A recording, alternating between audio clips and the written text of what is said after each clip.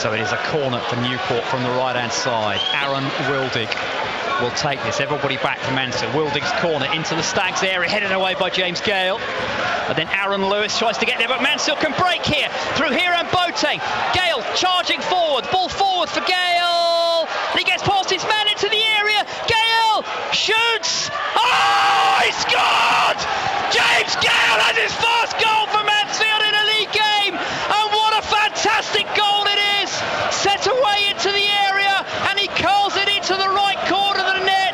What a brilliant finish from James Gale! Only just on a substitute, and with 28 minutes gone in the second half, it is Newport County nil, Mansfield Town two. Oh, take a bow, James Gale. What a superb quality effort.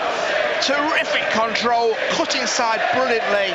Did he have the finish? Boy, did he have the finish. He buried that, curled it perfectly into that bottom right corner of the net. No chance for Joe Day. And that is an absolute worldie. What a moment in the career of James Gale. Absolute perfection from Mansfield Town. Calmness personified. What a goal for James Gale. That's a moment he will remember forevermore.